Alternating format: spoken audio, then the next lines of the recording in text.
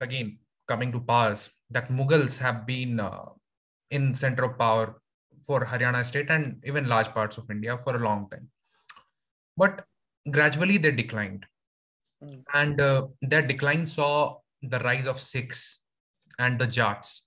And even Marathas had ruled for a brief period of time and not say that they have ruled for a long time in Haryana.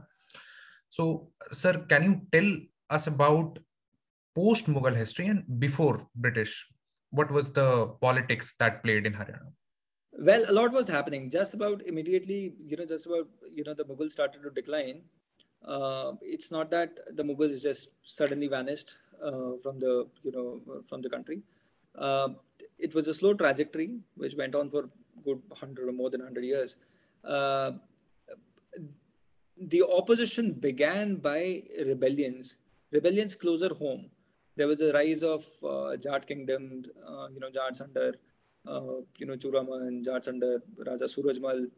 Uh, Sikhs had also started, uh, you know, gaining uh, military power and authority. so did the Gujars.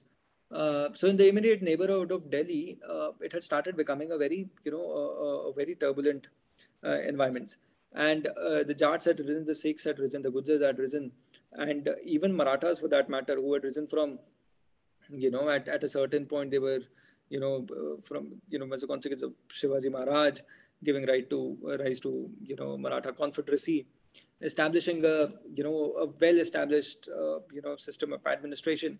The Marathas started you know gaining going towards the north and ended up to, you know uh, going as far as Attock so all these powers had started uh, you know dominating and coming onto you know the indian north indian region with a certain uh, you know um, uh, hold control and power and in fact uh, the immediate environments uh, environs of delhi were always caught in some of these conflicts as soon as they rose the number of rebellions, the number of you know the events of opposition had started gaining. In fact, the book starts with one incident from uh, Narnaul. Narnaul is in South Haryana, where a major rebellion of you know called Satnamis, Satnami revolt took place.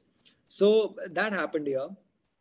So a lot of these rebellions actually started to shape what you know uh, modern India had started or modern Haryana would start to look like. Uh, of course, you'll read more about it in the book and much more detail because there are you know you, you cannot be missing some any any critical information.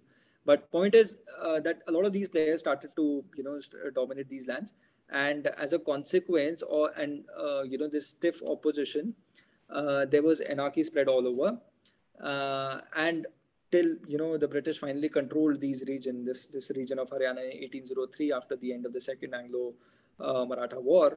Uh, the uh, until that phase, uh, Sikhs, Jats, Rohillas, Mughals, Marathas, you know, all were caught in the conflict. And add to it the English forces, add to it, you know, the French forces. All of them had become, you know, had become very prominent players in the region. Uh, ended up making and you know which i call like in the book it's it was an era of anarchy. Anarchy. Order only started to you know take shape only in 1803 when there was this one you know uh, power which ended up ruling the entire country. The english uh, came into control of these territories